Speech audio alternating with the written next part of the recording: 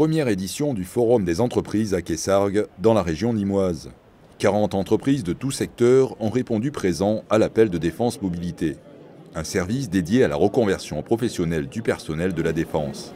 Notre offre de service Défense Mobilité euh, permet de proposer aux entreprises les meilleurs profils par rapport à leurs euh, besoins.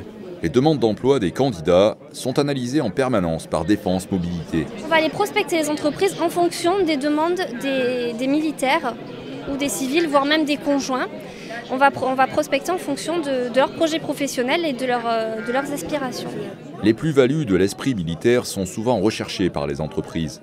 Le militaire nous intéresse beaucoup à travers son savoir-être et son savoir-faire. Il a une rigueur qui va être très euh, intéressante à, à, à exploiter. L'entretien direct permet d'accélérer les délais de recrutement.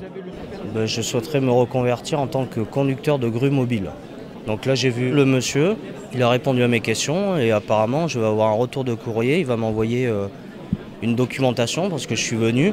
Venir au forum des entreprises est donc avantageux, quel que soit le niveau d'emploi recherché.